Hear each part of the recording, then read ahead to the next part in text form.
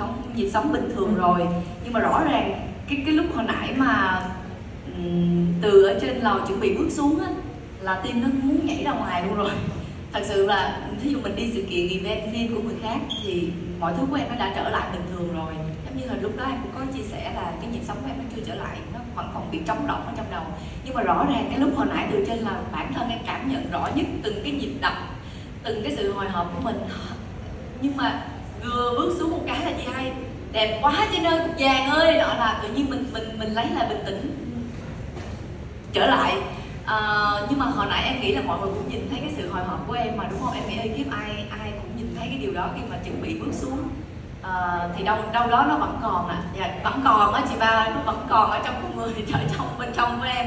À, thì khi mà mình lấy lại được sự tự tin để mình trở lại với công việc cuộc sống nhịp sống bình thường của mình á, thì à, như lúc nãy chị cũng đã có chia sẻ rồi.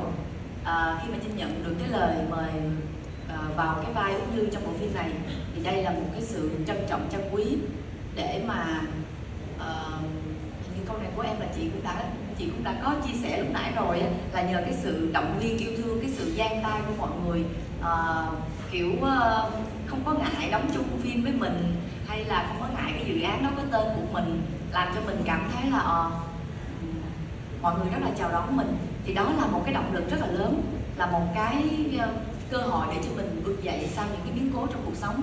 Thì chị nghĩ là sau những cái biến cố ai đó cũng cần một cái sự gian tay một cái sự yêu thương của người trong nhà thì mình không nói rồi.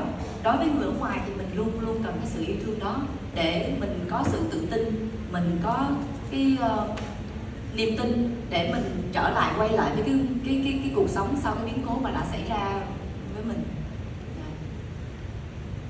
à, dạ rất nhiều à, uh, bập dập như thế nào em nghĩ là anh anh anh coi phim đi rồi anh sẽ thấy nha dạ. Còn việc em còn trả lời thiếu ý nào của anh không ạ? Tôi trả phụ là lời cho ngọc trinh á, là không có phải là không phải là làm ờ, không phải là nó- nói ngọc trinh cứ nghề đâu. Tại vì do trời cho trinh rất là đẹp. Mà cái trong cái đám dỗ thì cần cái đó, hồi nãy Việt Hương cũng tái hiện lại là, Út ơi, làm này, Út ơi, làm cái kia. Nhưng mà người Trinh rất là đẹp, đã vậy còn chọn bộ đồ rất là đẹp luôn. Thành ra là khi mà Trinh Trinh ờ, tức cực khổ trong cái đám dỗ đó, vì mình vừa quay qua nó vẫn sáng nhất và nó đẹp nhất ở trong cái đám dỗ mà mình nói chứ, chinh chinh, mày có thể làm cái gì mà thấy cực cực khổ khổ luôn, chinh. Sao mày sướng quá mày làm gì cho nó cực khổ lên chinh tất tả lên thì cái người mà trốn nhiều nhất là Lê Khánh cái Khánh mỗi lần kêu mà chạy thì Khánh lên neo neo nép này nè. Tại trong cái đám dỗ thì mấy chị em đều đều chạy như nhau. Thì, thì Khánh là chuyên môn trốn đi. Thì đạo diễn nói là à, má ơi má cứ kêu chị Khánh nha kêu nhiều lên thì thấy hình chị Khánh chạy cho nó tất tả. Thì không có thấy Khánh chạy tất tả. Mà thơ dạ em xin được chính là nhân vật của em trên phim mà chứ phản khánh à. Dạ cô thu cổ là kế toán nên cổ tính toán kỹ lắm cổ tính toán cái từng cái sự vất vả của cổ cho nên là cái gì mà cổ sướng là cổ sẽ chọn rồi cái gì mà vất vả là cổ sẽ đẩy cho những chị em của cổ à, ờ, cho nên là ờ, chị hai á chị hai chị trong ờ, trong tính cách của chị hai chị á chị hai biết được cái tính cách của cô thu. Cho nên lúc nào đè cô thu ra để sai việc nhưng mà cô thu luôn đùn đẩy công việc của mình cho người khác à. Dạ.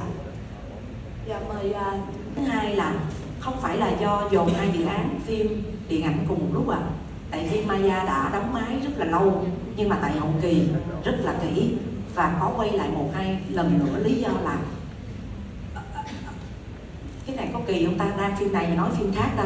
Có nghĩa là khi mà hương đánh lộn với con ma đó thì đầu tiên họ giấu chị cương à, giấu con ma rồi chiếu ai? Dụ như con ma đặt trên tay hương thì chiếu cái tay con mày không được. Cho nên buộc là phải quay lại là con ma nó có đặt hương thì phải thấy chị hương là chị hương phải làm luôn những cảnh việc đó tại vì mình đã giấu con ma cho nên là cái dự án nó đã đóng máy lâu rồi sau đó hương mới được nhận lời mời của à, khương ngọc vào tháng 12 của năm ngoái á. Dạ, và tháng 7 tháng 8 năm nay mình mới quay. Có nghĩa là một thời gian hành trình rất là dài và khi lúc đó Hương cũng đang trong thời kỳ định dạng lại cái đầu mình có nghĩa là mình xả ra mình sẽ không đóng phim trong nước nữa mình không đóng phim cực cỡ nữa. Đóng qua cái phim này mình ăn nguyên cái bão luôn. Trời ơi cái bão nó nước mà ta nói nước mà ướt từ trong ra ngoài mà 3 giờ sáng là ướt nhẹp.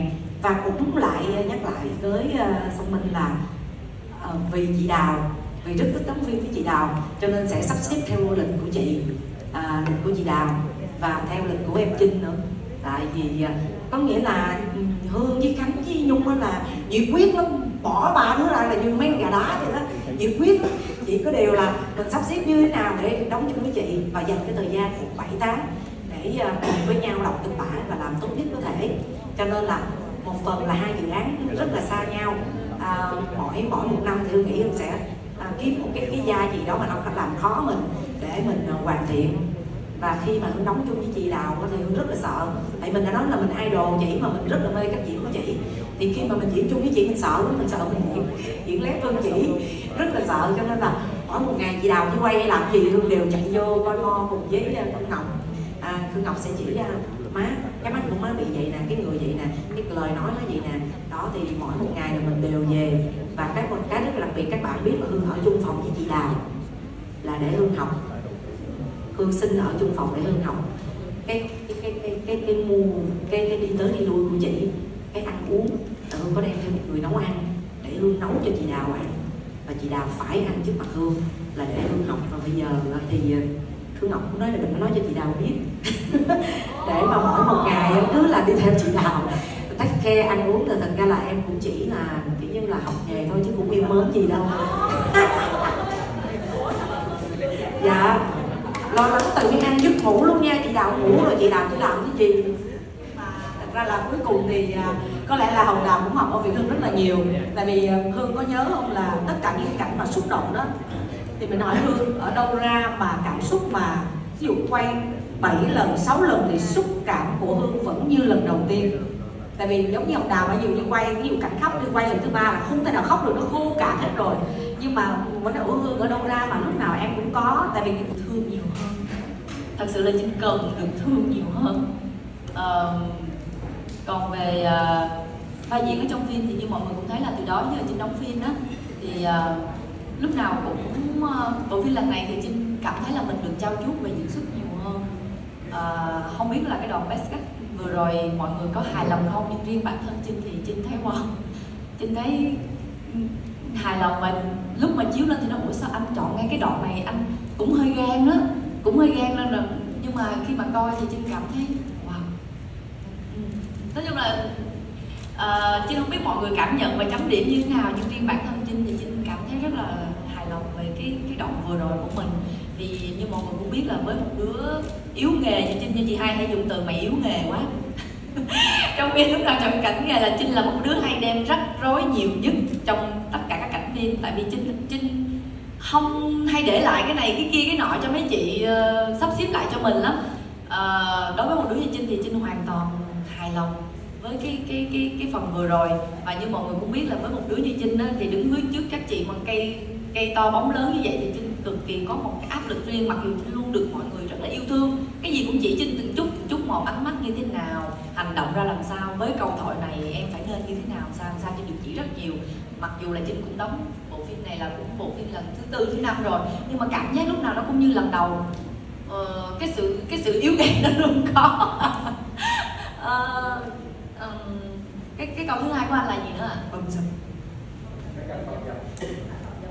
à, dạ. Chạy bộ à, đặc biệt là cảnh cuối mình chạy bộ tại chỗ gọi là chạy bộ nhưng mà gọi là chạy tại chỗ cho cái cái cái người nó mệt và Hương sẽ dốc cái đầu xuống cho cái mặt mình nó hơi phù nề một tí.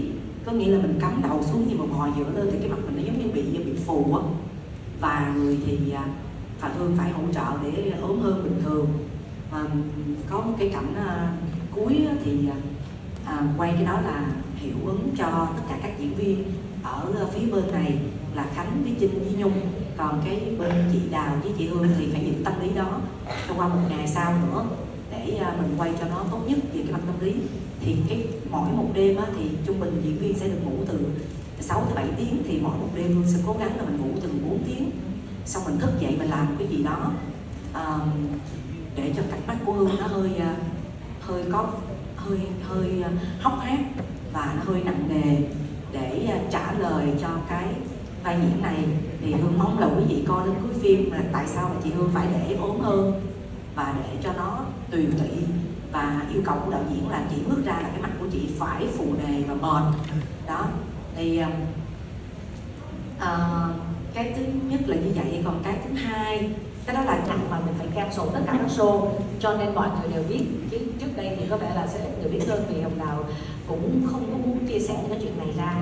Vì mình muốn mọi người yêu thương mình chứ không có muốn mọi người thương hại mình. Cái điều đó mình mình mình nói thẳng là như vậy nên mình rất chia sẻ với bà. Có lẽ là cái nên là tự nhiên nương không tự nhiên mình ấy hương nếu chị có cái gì thì hương lo gì thì có lẽ mình lúc đó, bây giờ mình phải nhớ lại, lúc đó hương im một hồi lâu rồi mới bắt đầu nói chuyện. Thì có thể một người như mình mình mình mình không có thích chia sẻ những cái negative mà bây giờ mình tự nhiên mình nói ra thì cái điều đó là hương ngạc nhiên tự nhiên thì em nhắc lại chuyện của tại sao mình có những cái lúc như thế? Nhưng mà thôi, cuộc đời đúng không chị Minh? Mình phải có lúc này lúc kia đúng không? Thế thì mình thấy những người phụ nữ mạnh mẽ, lúc khổ ấy, thì không bao giờ rớt nước mắt đâu. Nhưng mà lúc người khác thương mình, thì trái tim mình sẽ tan chảy và mình đã cất nó rồi nhưng mà bây giờ tự nhiên khi mà Việt Hương nhắc lại thì mình nghĩ ồ mình đã từng có một cái lúc tới một cái đỉnh cao như thế. Một đỉnh cao là mình lo âu tuyệt vọng hay gì đó tự nhiên mà mà ngay cả cái lúc mà đỉnh cao tuyệt vọng lo âu như thế là có một người em ở bên cạnh là để để mình có thể dựa vào. Vì khi bạn có một cái gì đó hụt hẫng hay bạn rơi xuống từ ở đâu thì nếu mà có một một cái người mà, mà mình để mình dựa vào thì cái điều đó là điều tuyệt vời. Cho nên khi mà tự dưng là uh, Việt Hương nhắc về tất cả khi mà Hồng Đào nói là tất cả những cái khó khăn Hồng Đào sẽ nhìn thẳng vào để giải quyết. Và bây giờ mình giải quyết xong rồi. Và Hồng với lại Hồng Đào có một cái là um, mình mình coi phim bộ nhiều lắm. Mình ờ, uh, có phim trong cái phim đó thì là cô bé cũng có một cái hũ. Thì cô sẽ mỗi ngày cô viết tất cả những vui buồn vào trong cái hũ cất. Thì Hồng Đào cũng bắt trước nhưng mà Hồng Đào chỉ viết vào những vui thôi. Rồi Hồng Đào cũng nhắc tới thì lâu lâu mình dở ra mình nghe cái chuyện buồn đó thì mình không có muốn nhắc. Nhưng tự nhiên hôm nay tất cả những cái mà mình mình có một cái chỗ mình buồn rầu những cái tuyệt vọng mình có một chỗ bán mà khi uh, Việt Hương nhắc lại thì tự nhiên không đồng cảm thấy xúc xúc động. Rất rất là xúc động luôn đó. Ồ mình đã từng có những thời gian như thế mình đã từng có những giây phút như thế và nhờ tất cả mọi tình cảm của của gia đình của bố mẹ các con và của tất cả chị em đồng như thế này thì tự nhiên cái cái tình cảm nó dâng trào thôi và đạo nghĩ đây cũng là một cái tại vì mình là diễn viên mà cho nên mình rất là, là nhạy cảm trong cái chuyện này. Rồi thôi chắc hương nói chị đào mới mới bệnh thôi. À, cũng là rất là lâu cho nên hương mới nói là hương rất là mong có một cái kỷ niệm được đóng phim chung với chị. Thì uh, chắc là tại vì hương hay cái tập hương là hay chu đáo á cái uh, lăng hay cái diễn lo hết trơn á. Thì từ đó tới giờ chị chị chị đào hầu như là đi với hương là hương uh, ổng là chị làm gì trơn. Không biết thích thích chăm sóc chị vậy đó. Hương thích chăm sóc cho người khác. Uh, từ từ từ đủ thứ luôn từ ăn uống hay làm gì thì vô tình thôi.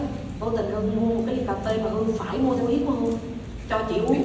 Là chị ngồi trên xe thì mình nói là em đi mua một cái ly này và hương làm đúng vậy vậy vậy và chị uống cho chị rất là ngon thì hương nghĩ thôi.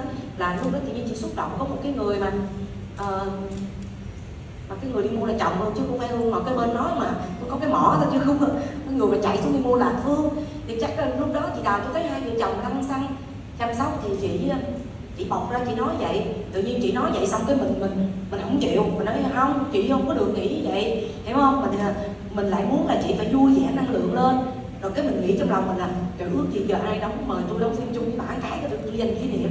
Thì khi mà ngọc nói là má con muốn mời chị đào. Trời ơi mình vui vẻ phấn khởi mình mình nhắn cho chị mà chị mình chỉ sợ chỉ từ chối thôi. Đó và um, cái, cái cuộc đời nghệ sĩ và mình gặp nhiều người mình diễn với nhiều người thì việc thứ nhất là mình thích mình thích chị chị mình mê. Chị thứ hai mình được chị với chị và cái cả hành trình các bạn chị thấy tụi mình đây thôi. Chứ các bạn không thấy là hai chị em hoặc là tất cả các chị em đây mình mấy bộ đồ mộ tính nụm ngồi ăn ngồi nướng ngồi nói xấu người ta ngồi kể chuyện rồi cùng nhau làm những cái điều mà hương nghĩ là các bạn cũng nghĩ là à, các chị là dễ thương mình vui chơi với nhau như vậy. À, và cái hành trình nó rất là dài. Và hương với chị ông đào ở gần nhau hoặc đi diễn này này nọ. À, có nhiều cái hương chú chi tiết hơn cho nên chị đào chị sẽ quý hơn hơn. Giống như ngày sinh nhật của chị sau một năm hương chừng chị ơi chị à cái này chị nói ủa sao mình nhớ hay vô. Rồi hương nhớ là cái ngày đó làm gì nữa. Cho chị cái lần đầu tiên. Đó thì hương, nghĩ là chị chị đào cũng ở ở một góc nào đó cũng quý hương nhiều hơn cho nên chắc chị tâm sự với hương nhiều hơn. Dạ à, em có bị áp lực về doanh thu hay không? Có chứ.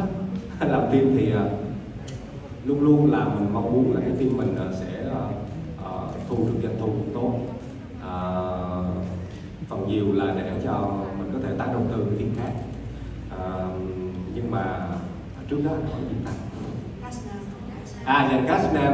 Dàn cast nam thì à, tại vì phim này toàn là phụ nữ à, là chính không ạ cho nên là uh, có anh Khải uh, có em có anh Trung Dũng có Minh Râu mà tất cả những người đàn ông trong cái nhà này đều xuất hiện rất mờ nhạt và đó là cái tứ của em uh, trong cả cái bộ phim này luôn. Tức là họ chỉ là những cái vai phụ mờ nhạc mà mỗi người trong cái cái vai trò đó nó sẽ góp một cái phần nào đó cho cái sự hỗn loạn của cái nhà này. Nhưng em khẳng định với anh đây không phải là cung đấu. Đây cũng không phải là phim uh, kiểu là giống như anh nói là làm cho họ có hiềm khích thể tương tác lẫn nhau mà đây là một bộ phim cực kỳ tình cảm. Chắc chắn là như vậy còn câu hai. Bản thân khi mà ờ, nhắc đến hàng phim. Và mà cái cái từ thôi nó đã khác rồi. Cũng như là cái người làm cho tới cái chàng diễn viên cho tới cái câu chuyện tức là mọi thứ nó sẽ rất là khác biệt. Và uh, chưa bao giờ mà lo lắng cái chuyện là bị so sánh. Tại vì ngay cả là nó giống như anh nói là nó có chung một vấn đề thì cách phát triển của mỗi người nó cũng khác nhau. Uh, cái nhìn cái góc nhìn của mỗi người cũng khác nhau và cái uh, cái biểu cảm cái diễn xuất của diễn viên và cái tất cả những cái sự kết hợp của tất cả những cái người mà uh, diễn viên em có đây. Thì uh, cái đó nó hoàn toàn không bao giờ nó nằm trong cái suy nghĩ của em là có sợ so sánh hay không. Tại vì em là em một khác người khác và em chắc chắn là em luôn luôn khác người khác.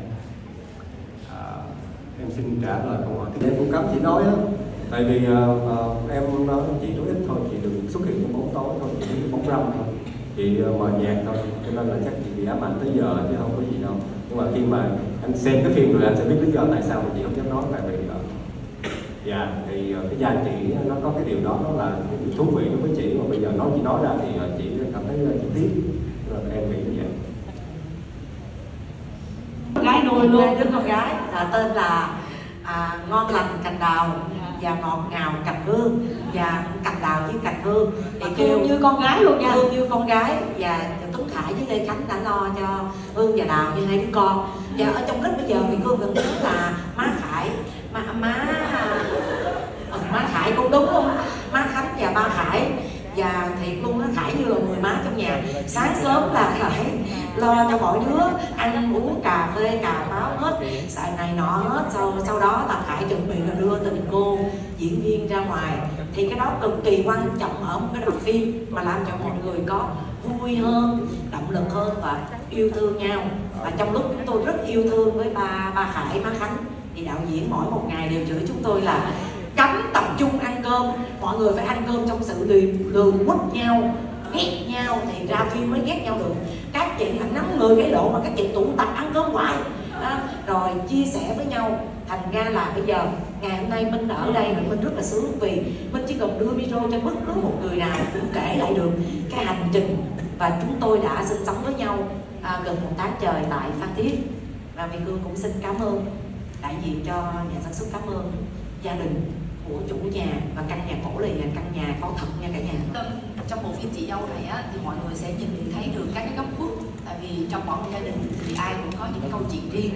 Ngay cả trước khi vào vai diễn thì à, anh Ngọc cũng gặp Trinh rất là nhiều cũng khai thác về câu chuyện gia đình của Trinh rất là nhiều. Và Trinh cũng kể những cái chuyện ờ, rất là bí mật mà từ đó giờ Trinh cũng không có chia sẻ ra cho anh Ngọc cho anh Ngọc biết. Thì anh Ngọc cũng thấy là à, Trinh cũng có một cái vài điều giống trong như đó. Ờ, thì khi mà mọi người xem phim là Trinh nghĩ mọi người cũng thấy chính mình ở đâu đó trong câu chuyện gia đình này dạ đồng đạo diễn kêu vô chữa gì hôm đi là con cha nó làm đi cho tiền gì cả nhà ơi em nói em mà trả lời nó cái chắc nó tán em luôn á. Nói chung là mình diễn với một người thanh xuân hả chị đào? Trong nghề gọi là cái cái bạn rất là thanh xuân thì mình diễn.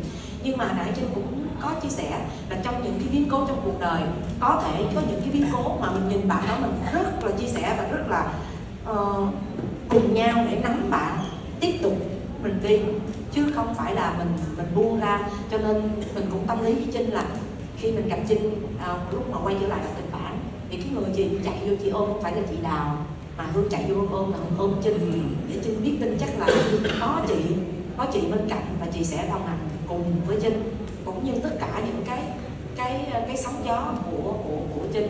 Thì mình vẫn muốn em là ở cái phần nghệ thuật. Em cứ tập trung đi còn có tụi chị. Và đặc biệt là nhà sản xuất nhà sản xuất cũng ờ, rất là lắng nghe cái đội diễn viên. Bốn đứa này nó nói thì sản xuất không có cửa nào mà nói hết trơn.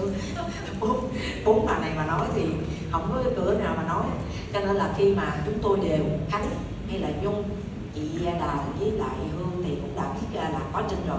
Nhưng mà khi có sự có mặt của trinh thì tất cả các bạn, bốn bạn ở đây đều đồng lòng với nhà sản xuất để cho trinh tỏa sáng và tốt nhất có thể và các bạn cũng biết là tại sao khánh luôn luôn được cái sự ủng hộ và khánh có ngày nay là tại vì cô nàng này cũng cổ duyên dáng từ đâu trong máu của cho nên là rất là an toàn những cái phần hài. Và tất cả những chuyện gì mà khó khăn bực bội là sẽ tới nói với à, uh, Đinh Như Nhung. Nhưng mà tất cả những gì vui vẻ thì đều nói với lại Khánh để cho Khánh có một cái động lực uh, gồng gánh cái cái cái cái cái cây hài của phim và là cây hài của của hậu trường luôn. Và sau phim này thì à, Việt Hương đều nhắn ở trong group á, là ba má. Tại vì ngoài à, Khánh thì có một nhân vật nữa đó là Tuấn Khải. À, chắc là chị Việt Hương mời Tuấn Khải đứng lên à hiện tại có mặt hôm nay. Dạ xin chào ơn dạ. giờ chị vẫn còn sống mà. Ngồi đây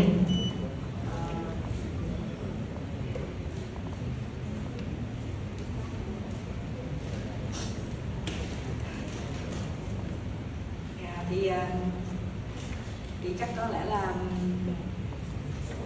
chắc là chắc cũng rất nhiều người biết là à, hồng đào cũng trải qua sức khỏe rồi thì có có vấn đề về sức khỏe thì có một bữa chắc là tất tất nhiên là trước khi mình mình thì mình phải trị thôi và khi mà mình nhìn thẳng vào tức là mình phải nhìn thẳng vào sự thật và mình trị. Nhưng mà đôi khi trước khi mình bước vào những cuộc phẫu thuật thì mình cũng có những cái nó nó nó nó, nó, nó mất niềm tin đấy. Cho nên là cái vật đầu đó là à, à, hai vợ chồng Việt Hương có đi nhớ mua Starbucks đúng không? Xong Hương còn nói là để em em mua cái order cái kiểu này cho chị uống chị uống rất là ngon thì tự nhiên mình buồn miệng thôi.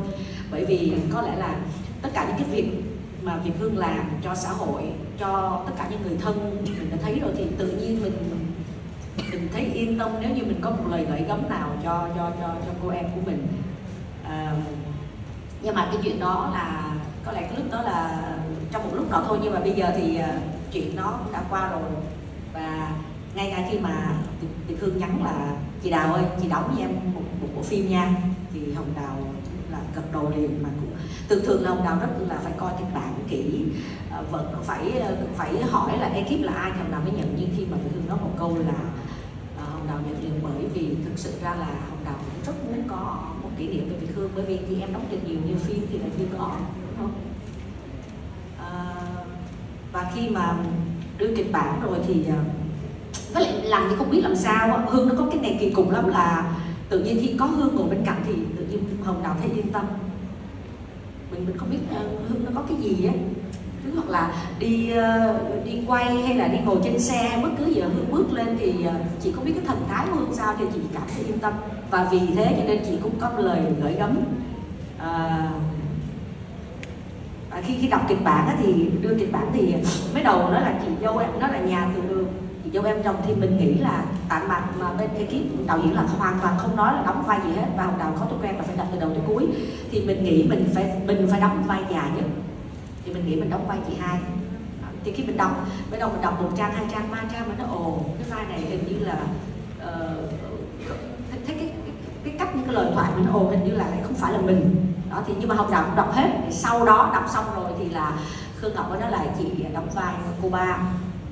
À, và cái vai cô ba đây là một trong cái vai mà với mình thì mình mình cũng đặt rất là nhiều tâm huyết để vào để để cho cái này. Nhưng mà không biết, tại vì khi mình mình mình cố gắng làm phim khi ra, trình làng với khán giả thì khán giả quyết định là một chuyện khác. Nhưng mà mình đặt toàn bộ tâm huyết cho cái cái vai diễn này.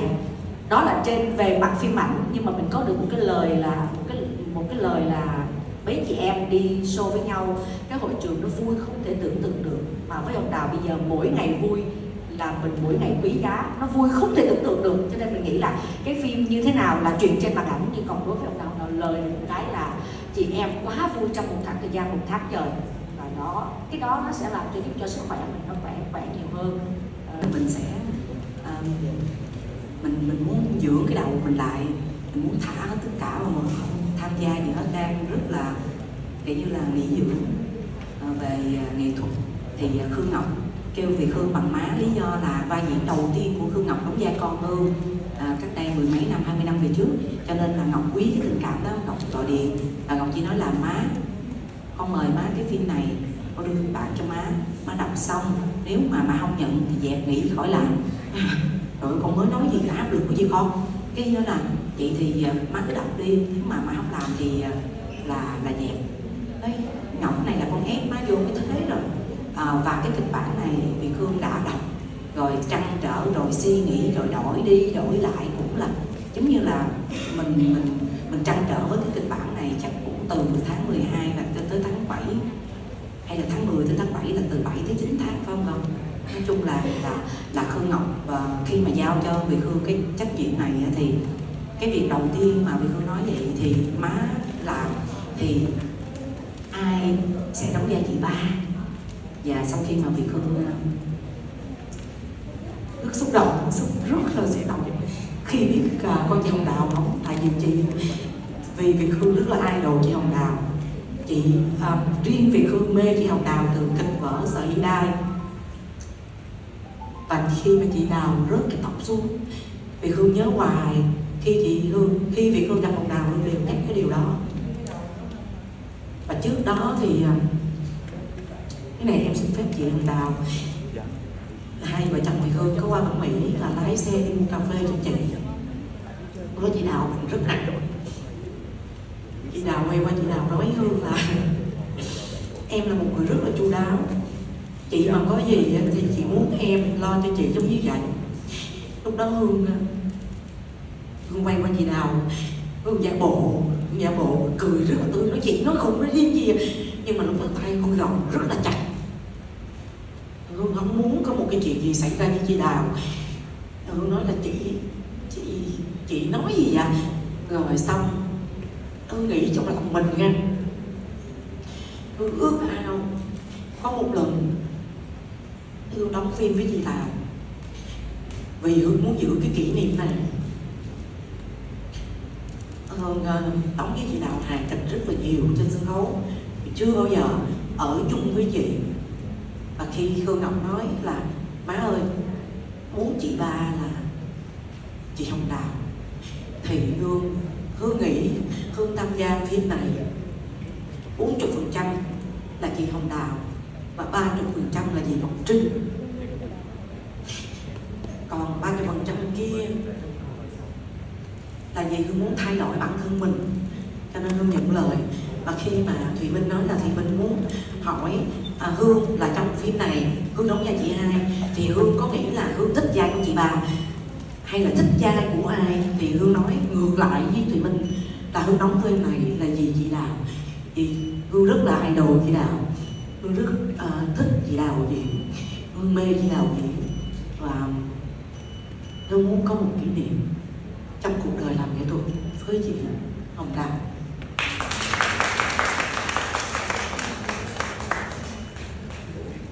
cuộc sống rất là nhiều và như mọi người cũng biết thì uh, sau một cái biến cố trong cuộc sống mà mình mình trở lại mình được mọi người đón nhận mình được mọi người yêu thương mình được mọi người giang tay ra vẫn đón nhận lấy mình vẫn uh, dùng một cái sự trân trọng trân quý đối với mình thì đó là một điều làm cho mình cảm thấy rất là hạnh phúc và uh, nó soi dịu đi mình rất là nhiều. Uh, ngay khi mà gặp được mấy chị và tiếp xúc với mấy chị thì mình lại nhận được cái tình cảm mình mình bất ngờ hơn ở cái tình cảm của mấy chị. Đối với mình nữa nhất là chị chị hai. Rồi lúc nãy chị hai nói là nhận phim này 40 phần trăm vì em thì em cũng rất là cảm động rất là xúc động em rất là hạnh phúc vì cái câu nói đó uh, em em nói nữa mà em khóc nữa.